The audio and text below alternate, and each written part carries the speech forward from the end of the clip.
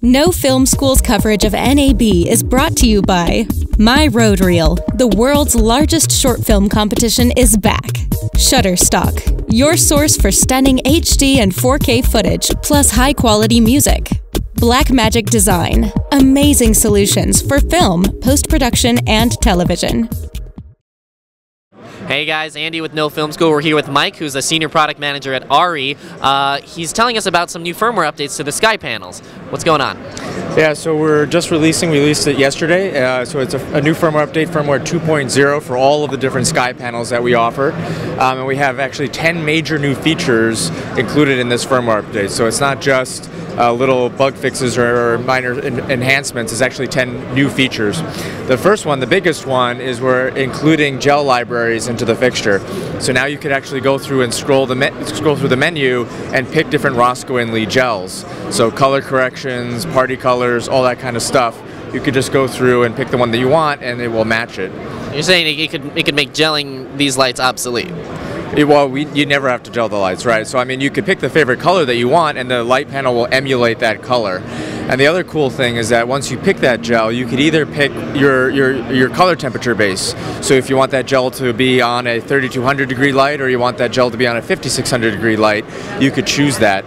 You could also choose whether you want the best color representation of that gel or the brightest version of that gel. So we actually can mix the LEDs a little bit differently to give you a little bit of extra brightness, uh, but the color rendition comes down a little bit. So you have the option. So cool. Uh, there are nine other features? Nine other features, so that's just one. So yeah, the other one is we have what's called low mode, low end mode.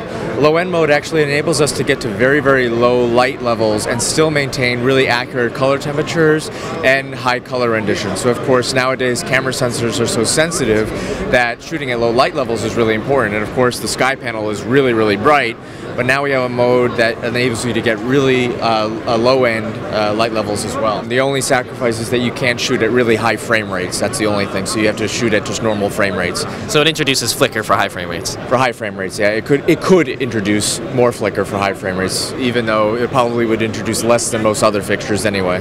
So the next one is called tungsten mode. So with tungsten mode, we're actually able to emulate the behavior of a tungsten fixture. So for example, if you enable that mode as you're dimming, it's actually warming the color temperature automatically.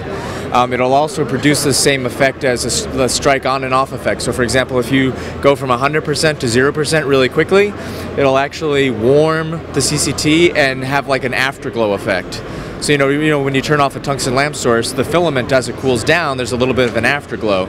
So through programming, we could actually emulate that. All right, what's number four? So uh, the next one is we have four different dimming curves uh, built into the light. So before we used to have one way of dimming the light, it would follow a, a, certain curve. But now you could actually pick the curve that you want. So we have four different choices. We have a, a logarithmic dimming curve, which kind of goes like this, and it gives you a high resolution control over the high end of the dimming range. We have an exponential dimming curve, which that's the default, gives you a high resolution control over the low end of the dimming range. We have a linear curve, which is basically a one for one and then we have an S curve, which gives you the benefit of the logarithm and the exponential with not so great control over the middle. So depending on what you're doing, one of those dimming curves might be better for whatever application that you're trying to do. In, inside, of course, we've always had DMX built into the light, but now we're also including RDM.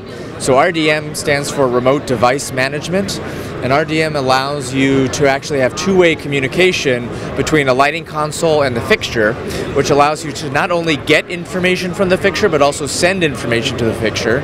So you could do things like set uh, the DMX address or set the DMX protocol or change the fan mode or whatever, you could actually do that all remotely from a console instead of having to go, go to the fixture and change it on the menu. So RDM is really great for kind of remote management. Um, and then the next one is ArtNet. And ArtNet is basically it's DMX and RDM over Ethernet. So we have a LAN port on the uh, fixture, so you can actually connect this to a network, and then uh, through using something that could generate ArtNet. So for example, a console or even some apps on your on your phone can do this, uh, have this capability. Control the fixture that way instead of using the five-pin DMX to run it through it. So we made a new DMX channel. So we have a lot of DMX protocols, and at the end of each of those protocols, we ended a new we have a new channel that allows you to control the fan. So you could, through this channel, you could either select uh, different fan modes or you could actually turn the fans completely off.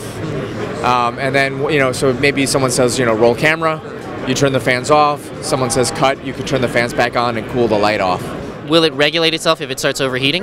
Yeah, so if it starts, if it gets too hot, which what from our tests, what we've seen is that it basically somewhere between 10 and 15 minutes, uh, it'll start to get a little bit too hot. And what we'll do is it'll turn the fans on really, really low, just to get kind of air movement, and then it will turn them on a little bit, a little bit more, a little bit more, and then uh, it'll it stops at basically 20 decibels.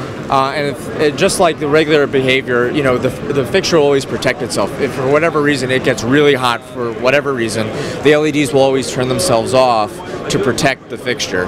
And then you could know that something's wrong and you could diagnose it and fix whatever is happening. Uh, so you can control all of those things over not DMX, right? You can manually control it via the, panel? fan mode? Yeah, so the fan mode you can control through the, the fixture here, but you could also uh, control it now through DMX. Uh, what's number nine? Uh, so number nine, or I guess we're getting, so it's actually three different things with the USB. So I had mentioned that you could put in the USB stick to do uh, software updates, but we've actually added more functionality in there. So if you have a USB stick attached here, you could actually export error logs and server, service logs. So if you get an error message, whatever it might be, you could export those service logs to a USB stick, and then you could email them to an ARRI service person, wow. and they could tell you, okay, this is what happened, try this, and then we could solve the problem, you know, just over the phone just by looking at the service logs. Um, the next thing is the ability. So we have uh, right now you could save up to 10 presets onto the SkyPanel, whether it be a color temperature or a hue or a gel. So you could save those 10 presets uh, on the fixture, but now we have the ability of saving those presets to the USB stick so that you could actually uh, share those presets with different fixtures. That's great. That's uh, yeah, and then the last one is the ability to save all of the fixture settings. So, for example, the DMX protocol, the fan mode, your your your display settings, all of those different things. You could save, basically, clone the fixture settings to the USB stick, and therefore, if you're setting up like a, a, a lot of SkyPanels, like 50, 100 SkyPanels, instead of going through each menu, you can now just put the USB stick in from one the previous fixture and load those settings onto the next one and do that, you know, kind of consecutively to get all of the SkyPanels on the same settings. Uh, what's next? What's next on the timeline? Well, I mean, so this one is available now for free off of our website. It's available for a day. You can actually download the up, up uh, the up, update file, put it onto a USB stick, and if you have a SkyPanel, you can do that today. Um, but of course, yeah, we're not going to stop there. We have a, a, lot of other ideas for adding more features to the product. Uh, anything you can tell us about either new features or new uh, new heads that you guys are coming out with? Uh, yeah, we don't have any new heads at the moment, uh, but uh, you know we're always working on new stuff. Uh, we do have a new accessory for the SkyPanel called the SkyBender. The SkyBender is basically an asymmetrical reflector that goes in front of the source that allows you to light a wall really even with really even uniformity. Let's take a look at that. Sure. So one of the things that we came out with, as you mentioned, was the SkyBender. So the SkyBender is an asymmetrical reflector that this goes right into the front of the SkyPanel and allows you to light up a wall uniformly. Uh, one of the, the hard things about lighting a wall is to try to get it the same intensity at the bottom from the top because especially for example like a green screen you really want to have even intensity or it becomes very hard to key so with something like this you just slide it into the front of the fixture light up a wall and then you have the same intensity at the bottom of the wall as you do as the top of the wall what's the price point on this thing? So this will have a list price of about $960 uh, it's going to be shipping in July. Uh, and we'll have a size also for our S30 as well. Cool. Thank you Michael